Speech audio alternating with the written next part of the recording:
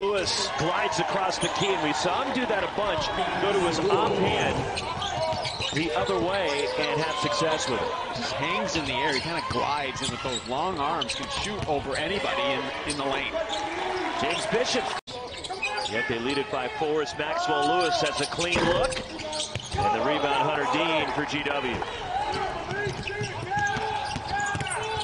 Racing up the floor and the lay-in. Lorenzo Romar doesn't seem to be too thrilled with all the giveaways by Pepperdine. No, and, and, it's interesting. They came out of the gate feeling good about their offense, but GW, give them a lot of credit. You know, their guards are pesky. They're known for their offense, but I think they're doing a very good job of containing the dribbler here in the last three or four minutes.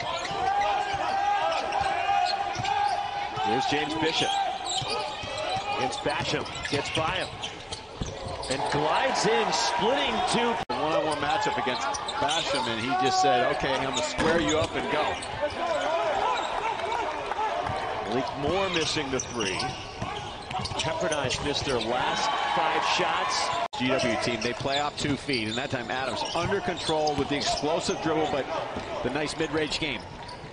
And a turnover leads to a transition three.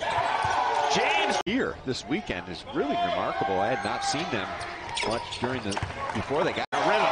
And Houston Mallette goes crashing to the deck, comes up grimacing a bit, but a tough shot by Mallette to put Pepperdine up nine.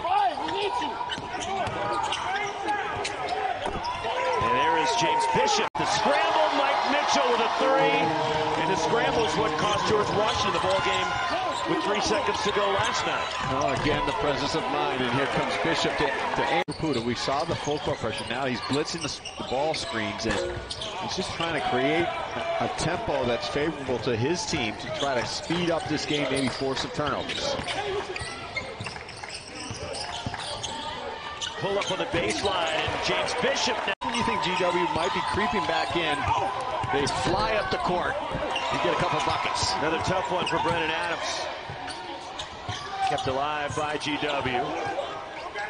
And a tough shot in the corner hit, and Bishop's got. Jalen Petrie was in double figures. Now that is smart, smart basketball. Started with Jamal He took the ball into the gap. He didn't force the issue, and then he threw it back out to Mallette.